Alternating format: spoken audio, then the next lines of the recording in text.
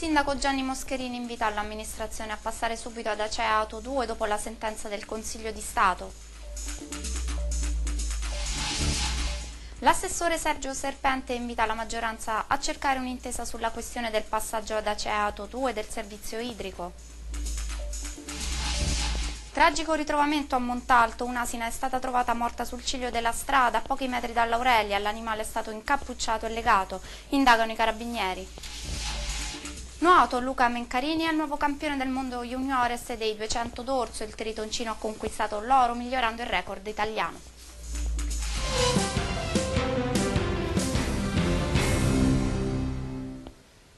Buongiorno e ben trovato un nuovo appuntamento con l'informazione del TG dell'Alto Lazio. Il comune di Civitavecchia non ha altra via se non quella di aderire una volta per tutte ad Acea Ato 2. A dirlo era stata prima una sentenza di giugno in cui si dice che il Comune non ha competenza in materia idrica, successivamente lo ha detto il TAR del Lazio che obbligava il Comune ad aderire al lato 2 sentenza poi confermata dal Consiglio di Stato. E a, e a dirlo ora è l'ex sindaco di Civitavecchia Gianni Moscherini che ha anche annunciato una denuncia alla Corte dei Conti per i 4 milioni di euro circa impiegati dall'amministrazione comunale proprio sulla rete idrica. Sentiamo i particolari nell'intervista al leader dell'opposizione.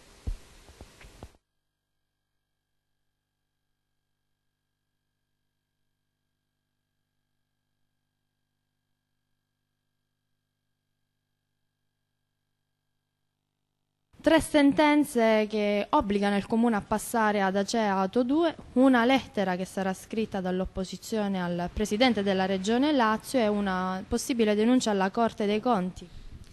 Beh, nei fatti questa amministrazione ha inanellato eh, altre sentenze negative sull'acqua che non sono giustificate. I comportamenti di questa amministrazione da un anno da quando si è insediata sulla questione idrica è fuori legge. Quando ancora eravamo noi ad amministrare il comune, facemmo ricorso, facemmo, votammo l'iniziativa dell'ingresso in atto 2, fece ricorso Petrelli, Petrelli perse questo ricorso e il magistrato ingiunse al comune di entrare immediatamente in atto 2, a atto 2 prendersi immediatamente il comune e qualora ambedue non avessero fatto il loro dovere, intimava al Presidente della Regione di nominare un commissario ad acta che facesse quello che il Comune e Ato 2 non avevano fatto. Bene, nel momento in cui loro si insediavano sull'acqua dovevano eseguire questa sentenza. Quindi manderemo adesso immediatamente una lettera a Zingaretti con la quale ricorderemo questa ingiunzione e gli chiederemo di nominare un commissario ad acta. Seconda questione. Hanno perso con Port Utilities perché questo sindaco si inventa sempre cose per dirottare l'attenzione dei cittadini, quindi si è inventato che il porto eh, vende l'acqua a poco, anzi la vende a troppo, però non entrano i soldi per il comune, non entrano i soldi per il comune, quindi cosa fa il comune? Ha aumentato la tariffa di Port Utilities tra l'altro in maniera illegittima perché non può aumentare la tariffa di uno perché si chiama porto. Port Utilities fa parte di quell'elenco delle industrie che se comprano l'acqua dal comune la pagano X e non è che ci può essere un'altra decisione fuori dal Consiglio Comunale, perché le tariffe le decide il Consiglio Comunale, con l'aggiunta che dice che il porto deve pagare di più. Ora, una stupidaggine del genere non poteva che concludersi come si è conclusa, con una sconfitta del comune, per cui l'azione decisa dalla giunta viene definita illegittima. Il comune non è titolare dell'erogazione idrica. La terza è arrivata adesso, questi giorni, la sentenza favorevole al Codici, il quale riconferma ancora una volta che il comune non è titolare dell'erogazione idrica, quindi basta con questa barzelletta che si sta, per, si sta continuando con questa cosa che è stata detta in questi giorni, no, no, ma noi faremo un'azienda speciale. Ma che azienda speciale devi fare? Devi eseguire quello che è già stato detto, e cioè l'ingresso immediato in atto 2. Solo così si rifà la rete idrica, si rifanno tutti i contatori, e si evitano le estati come quella ultima o periodi anche fuori dell'estate dove si è avuto non solo l'arsenico ma addirittura i rubinetti che versavano acqua sporca ed è durato per molto e ci sono ancora quartieri dove l'acqua non arriva. Quindi la situazione è enormemente peggiorata.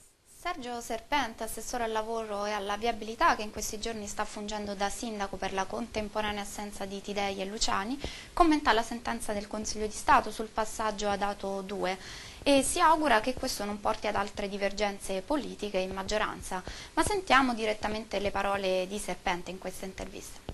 Serpente, in molti si sono affrettati a dire che le sentenze vanno rispettate dopo quanto deciso dal Consiglio di Stato per quel, per quel che riguarda l'acqua pubblica, però lei dice è una sentenza che va letta bene. Che significa? Allora, io tengo a precisare che in questo momento sono soltanto reggente per fatti ordinari. No? Questo è un problema molto grande per la città, è un problema che la città già più volte negli anni ha fatto delle battaglie su questo argomento dove c'è anche delle prese di posizione nei programmi elettorali perciò io non voglio scavarcare, adesso rappresento l'amministrazione comunale, non voglio scavarcare nel sindaco e la giunta, dico soltanto che quando arriverà il sindaco valuteremo bene tutti insieme con la giunta e la maggioranza l'aspetti di questa sentenza. Le sentenze vanno rispettate, ma questa sentenza nasce dalla vendita premente di chi ha ricorso quando HCS era in vendita al 60%. Praticamente eh, fecero questo ricorso perché HCS diventava privata. Siccome noi crediamo che l'acqua deve essere pubblica, questo ricorso logicamente è stato vinto da questi ricorrenti perché il giudice si è basato su quel tipo di ricorso. Adesso bisogna vedere all'interno nostro cosa intendiamo per pubblico, se intendiamo andare a tutue o fare un discorso più in house e, e vedere le capacità sia finanziarie che ci abbiamo e poi il ritorno che i cittadini possono avere. Senta, il suo partito si è praticamente già espresso, Sinistra Ecologia e Libertà dice che l'acqua deve restare pubblica proprio al 100%, il PD invece forse è più possibilista nel passaggio ad Ato 2, può creare nuovamente problemi questo da un punto di vista politico tra voi e il Partito Democratico? Io capisco la tua domanda perché fai giornalista, oggi non sono in grado di potermi esprimere perché rappresento in toto eh, l'amministrazione la, comunale. Io auspico che ci sia un confronto democratico tra tutte le forze, ci sia una condivisione perché i cittadini sono stanchi di, far, di dividerci tra guelfi e ghibellini. Vogliono una, una, risposta seria, una risposta che sia per la città la migliore per proseguo della, dei cittadini stessi nella nostra comunità. I commercianti di Corso Marconi hanno scritto una lettera di protesta all'amministrazione comunale, lamentando lo stato del porticato degradato e sporco, secondo quanto dicono. Passeggiare sotto i portici, scrivono i commercianti, vuol dire muovere passi in mezzo a una porcilaia. Cartacce, escrementi di animali, piccioni e cani, immondizia di vario genere sono una costante. Per non parlare delle macchie d'olio o di acqua sporca che prima venivano rimosse dagli operatori ecologici e ora invece danno un'ulteriore immagine di degrado a questa parte del centro. La nostra, concludono, è una protesta corale nella speranza che ci sia la volontà da parte del sindaco e dell'amministrazione di porre fine a questo fatto. I gestori degli stabilimenti balneari tirano un primo bilancio della stagione e non è certamente positiva. Gli incassi fanno registrare un calo che oscilla tra il 30 e il 35%, dovuto soprattutto al maltempo e alla crisi, come sentiamo in questo servizio. Un calo che viaggia tra il 30 ed il 35%, quello fatto registrare nelle spiagge e negli stabilimenti balneari del nostro litorale. La stagione estiva sarà dunque piuttosto scarsa per chi opera nel settore, colpa soprattutto delle condizioni meteorologiche, secondo quanto lamentano gli stessi operatori del settore, con l'estate che è iniziata decisamente in ritardo rispetto agli anni passati, praticamente da luglio, visto che maggio e giugno sono stati pessimi dal punto di vista meteo. Oltre a questo, sempre stando a quanto dicono i gestori degli stabilimenti, c'è da tener conto anche della crisi, che ha fatto in modo che venisse preferita la spiaggia libera rispetto a quella che offre lettini e ombrelloni a prezzi che, come sottolineano i titolari degli stabilimenti balneari, sono fermi ormai da tre anni a questa parte così come sono calati anche i consumi in quegli stabilimenti che offrono un servizio ristorante. Anche in questo caso il calo oscilla tra il 30 e il 35%. In calo addirittura anche la vendita dei gelati. Poi, a seconda delle zone, ci sono anche lamentele di diverso tipo. Per esempio, nella zona sud della città c'è chi si lamenta con l'amministrazione per l'assenza di parcheggi, mentre più al centro lamentano il problema dell'erosione, soprattutto alla spiaggia della Marina, che rende difficile la sua fruizione. notte tra il 2 settembre 2013 e il 3 settembre, a partire dalle 23, sarà eseguito un intervento di disinfestazione dagli insetti alati nelle zone di Borgata Aurelia, Pantano, zona industriale, Fossi, Cimiteri, Santa Lucia, via Tirso, Largo Acquaroni, via dei Medici, quartiere San Gordiano nelle vie via del Tiro a Segno, compresa area limitrofa il supermercato Con del Mare, Largo Vinciari, Geodetico e limitrofe, viale delle Sterlizie, piazzale Fior di Loto, via dei Gladioli e via dei Gerani e via delle Viole. Si raccomanda agli abitanti di chiudere le finestre e non lasciare fuori indumenti, alimenti e animali e in caso di maltempo il servizio sarà rinviato a data da destinarsi. Orrore a Montalto di Castro. Un'asina è stata trovata morta ieri sera intorno alle 22 in località Le Murelle, a pochi metri dalla strada, strada, eh, strada statale Aurelia. Una vera e propria esecuzione, quella eseguita dai boia nei confronti dell'animale, che lascia pensare ad un avvertimento. L'asina è stata infatti trovata legata con il filo di ferro, incappucciata e lasciata abbandonata sul ciglio della strada. Ad accorgersi dell'inquietante presenza è stato un agente dell'istituto di vigilanza privata. L'animale è stato rinvenuto con le zampe legate e la testa avvolta da una busta di nylon. Sul posto sono intervenuti i carabinieri del radiomobile di Toscania e il veterinario dell'ASL di Tarquinia Vincenzo Presciutti, che ha dichiarato una morte per soffocamento. Il professionista ha anche rilevato con lo strumento la presenza del microchip che lascerebbe indicare il comune di Canino la provenienza dell'asina.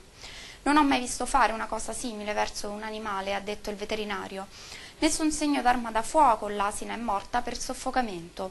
Al vaglio degli inquirenti le ragioni del tragico gesto, tra le ipotesi più accreditate, ci sono proprio quella di un avvertimento nei confronti di qualcuno oppure l'eventualità che l'animale sia stato rubato e durante il trasporto sia caduto e quindi caprettato. Abolizione dell'IMU agricola sui terreni, eh, sui, scusate, sui terreni agricoli e i manufatti ad uso agricolo fa tirare un sospiro di sollievo alla categoria, afflitta da una serie di congiunture negative. Il taglio dell'IMU agricola è un importante segnale, spiega l'assessore regionale all'agricoltura, caccia e pesca Sonia Ricci, per un settore che può e deve rappresentare un volano per la nostra economia. Solo nel Lazio, dice la Ricci, le aziende agricole sono circa 98.000 e certamente il venir meno di una tassa onerosa permetterà agli imprenditori di poter investire le risorse risparmiate nelle proprie attività un segno di speranza che incoraggia le imprese, una boccata di ossigeno utile a superare la crisi economica, riconoscendo anche l'importanza strategica di un settore indispensabile per la ripresa di tutto il Paese. E nel viterbese esulta la Coldiretti che parla di decisione avveduta, che riconosce il ruolo ambientale, sociale e culturale della nostra agricoltura che gran parte ha nella produzione di quei beni comuni che il mercato non remunera. Come organizzazione, ha detto Andrea Renna, direttore della Coldiretti della Tuscia, anche a Viterbo ci siamo occupati delle questioni legate all'applicazione alle, e alle aliquote, rimarcando più volte la necessità di eliminare questo balzello, esigenza ribadita anche durante la nostra recente Assemblea nazionale di luglio. Ora accogliamo con grande soddisfazione la decisione del Governo. A Tarquinia l'Università Agraria è già al lavoro. Si va verso la rimodulazione rimodulazione in diminuzione della seconda rata della corrisposta dovuta dagli utenti concessionari, spiega l'assessore al bilancio Antonio Peparello. Il provvedimento sarà preso nella prossima giunta esecutiva, previo confronto con il collegio dei revisori. Gli importi esatti da versare saranno comunicati con lettera agli interessati. In questo modo l'ente risponde agli impegni assunti al momento dell'approvazione del bilancio. Si è presentato nuovamente sotto l'abitazione dell'ex moglie cominciando a citofonare ripetutamente, insultandola e minacciandola di morte. I carabinieri del nucleo radiomobile della compagnia di Ostia hanno arrestato un pregiudicato romeno di 42 anni con l'accusa di stalking eh, ai danni della sua ex moglie, una 43enne romena residente ad Ostia. Nei mesi scorsi l'uomo era già stato denunciato dalla donna per i maltrattamenti subiti e nel mese di luglio i carabinieri gli avevano notificato l'ordine di allontanamento dall'abitazione familiare e il divieto di avvicinamento alla donna e ai luoghi generalmente da lei frequentati. Nonostante ciò, ieri pomeriggio l'uomo si è presentato nuovamente sotto l'abitazione. L'ex moglie spaventata ha contattato il 112 e quando i carabinieri sono giunti sul posto hanno sorpreso l'uomo che continuava a minacciare la donna. qualora non fosse tornata a farlo vivere con lui. Questa volta però lo stalker, per lo stalker si sono aperte le porte del carcere capitolino di Regina Celi, dove adesso rimane in attesa di essere interrogato dal giudice del Tribunale di Roma. Rincorrono i ladri e ne fanno acciuffare uno segnalando il suo nascondiglio. Protagonisti dei cittadini di Fiumicino che hanno permesso l'arresto di un romeno di 40 anni per tentato furto e danneggiamento aggravato. Tutto è accaduto dopo la segnalazione di un furto in atto in un'abitazione di via della Scafa. L'autoradio del commissariato di zona si è subito recata presso il luogo segnalato per le verifiche. Al loro arrivo gli agenti hanno trovato alcuni cittadini che, dopo aver rincorso uno dei ladri, ne hanno indicato la via di fuga ai poliziotti che lo hanno scovato mentre cercava di nascondersi in un fossato. Condotto presso il commissariato di Fiumicino identificato, il romeno è stato arrestato. Polemiche a Tolfa per la realizzazione del nuovo campo sportivo polivalente. Per l'ennesima volta l'amministrazione comunale punta alla costruzione di una nuova cattedrale nel deserto. Tuonano i consiglieri d'opposizione Adriano Ciambella e Marcello Chiavoni del PD. Antonio Marini e Marta Ceccarelli del PCI che criticano fortemente la giunta Landi decisa a costruire in località Appoggio Cedraulli un campo di rugby che oggi, dicono dalla minoranza, risulta soltanto uno spreco di denaro dei cittadini. In questi giorni, in proposito, è stata avviata una raccolta di firme per contrastare l'erigenda opera e in poche ore il documento ha ottenuto numerose sottoscrizioni. Il campo da rugby dovrebbe essere realizzato in una zona della periferia di Tolfa, distante 5 km dal centro abitato ed in aperta campagna. Il progetto, spiega Adriano Ciambella, risale al 2005 e prevedeva la realizzazione di un campo di rugby, vista l'allora presenza di una squadra di rugby che avrebbe potuto usufruire del campo. Oggi la squadra e la società non esistono più e il progetto iniziale del campo si è trasformato in un'opera polivalente che costituisce una spesa superflua, soprattutto in un periodo di grande crisi come questo che stiamo attraversando. E l'amministrazione comunale cerca il centesimo dai cittadini per poter chiudere il bilancio ma il primo cittadino collinare, Luigi Landi, replica a tono e spiega le, le motivazioni della sua scelta di portare a compimento l'opera. Il procedimento è iniziato anni fa e ora con i soldi del finanziamento in mano non possiamo dire no alla realizzazione di questo impianto che diventerà polivalente. Il finanziamento non si può girare per altri scopi, quindi se diciamo no al campo perdiamo il contributo e ciò mi sembra uno spreco. Il campo non servirà solo per giocare a rugby, ma sarà polivalente. Ho già ricevuto la richiesta di alcune società sportive di diverse discipline. E passiamo allo sport. Ai mondiali juniores di Dubai Luca Mencarini si tinge d'oro nei 200 d'orso. Sentiamo il servizio.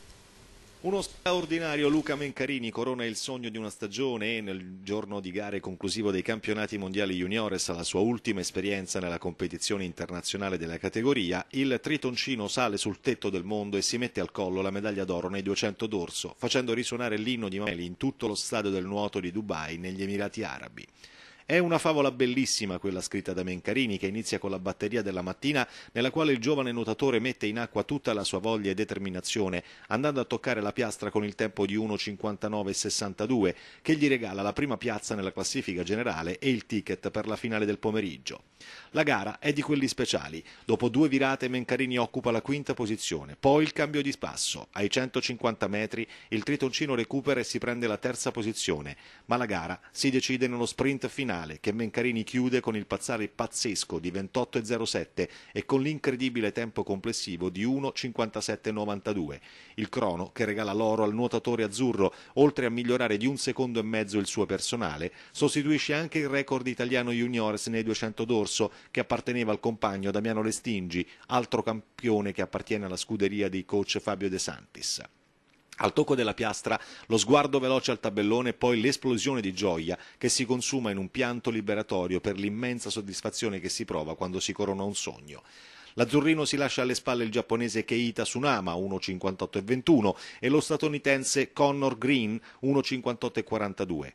Sono senza parole, queste le prime dichiarazioni del tecnico Fabio De Santis appena dopo la finale. Ho visto la gara in streaming e ho ancora la pelle d'oca. La prestazione di Luca è stata impressionante. Ha affrontato la gara con una concentrazione e determinazione straordinarie. Negli ultimi 50 metri avevo il cuore che batteva all'impazzata perché è riuscito a tirare uno strappo incredibile, sfoggiando un dorso e una forma fisica invidiabili. Sono sicuro che ora Luca starà toccando il cielo con un dito dal gradino più alto del podio. Non vedo l'ora di abbracciarlo e dirgli quanto sono soddisfatto.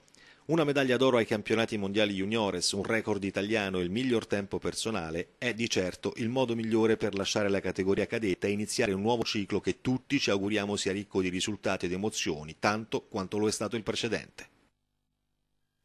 Nell'amichevole precampionato andata in scena sabato al Fattori, la CPC batte 2-0 il Civitavecchia con le reti di Loiseau e Poggi. Le interviste a Fabrizio Boriello e Massimiliano Iezzi. Allora siamo con Fabrizio Boriello al termine della partita, una partita importante per la CPC, onorata al massimo, una vittoria secondo me meritatissima e la squadra è piaciuta molto, tu sei d'accordo?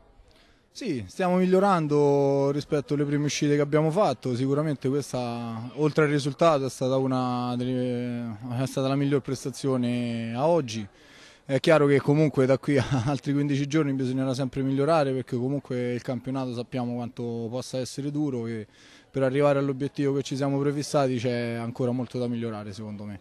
Piaciuto soprattutto l'approccio della squadra contro un team che ad ogni modo partecipa a un campionato superiore al vostro? Sì, sicuramente abbiamo migliorato anche sotto questo punto di vista. Magari altre partite le avevamo prese un po' sotto gamba o forse ci eravamo resi conto di essere un po' vittima sacrificali, parlo magari all'amichevole contro l'Ostia Mare. Mentre oggi vuoi magari per l'importanza del, del, Memorial che comunque la compagnia portuale teneva molto, vuoi perché comunque, ecco, ripeto, bisogna sempre migliorarci, abbiamo sicuramente approcciato in maniera migliore e dobbiamo, ripeto, sempre migliorare. La difesa l'altro anno della CPC non aveva convinto molto il tuo arrivo, ma è sembrato subito che aver dato peso, sostanza, il reparto sempre ben chiamato, ordinato. Ma, grazie del complimento, nel senso io mi metto a disposizione della squadra, dei compagni e cerco di, di dare il massimo in ogni partita, in ogni amichevole. È chiaro che l'anno scorso sinceramente non ho seguito po poi molto il campionato, essendo impegnato comunque nel campionato di eccellenza, però sì effettivamente ho saputo che sono stati incassati oltre 50 gol che per una seconda classificata insomma non sono pochi. Quest'anno cercheremo di migliorare, magari ecco, diminuendo i gol subiti probabilmente si spera di aumentare anche la posizione in classifica dell'anno scorso. Allora Massimiliano, a due settimane dal campionato sicuramente dal Civitavecchia ci si aspettava di più, ehm, una prestazione probabilmente al di sotto delle aspettative anche dopo la prova che si era vista nel triangolare vinto. Sì, sicuramente è normale che stiamo in preparazione, magari ci sono degli alti e dei bassi.